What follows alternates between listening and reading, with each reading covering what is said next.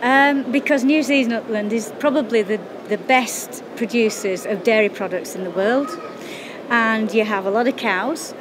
Uh, because you've got a lot of cows, you've got issues with effluent and how to treat it. And the farmers want to get more nutrient out of that effluent. That's clearly so because of the cost of fertiliser. Uh, in the UK, we are actually retaining a lot of nutrients in the effluent through using bacterial application, actually, while the effluent's being stored in ponds. And we know that we can bring this technology to New Zealand and make a big difference to your farmers.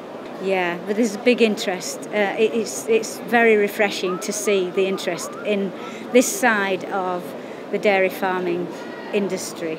Um, I think it's been somewhat neglected in terms of retaining the nutrients, although you're very scientific about how you actually apply the um, liquid effluent. But in terms of actually looking at the retention of the nutrients, that's maybe not been an area that's been looked at quite so closely. It is bigger, um, it's very rural, but a, a huge event, and I think it's just fabulous. One of the things I'm most impressed with is the traffic.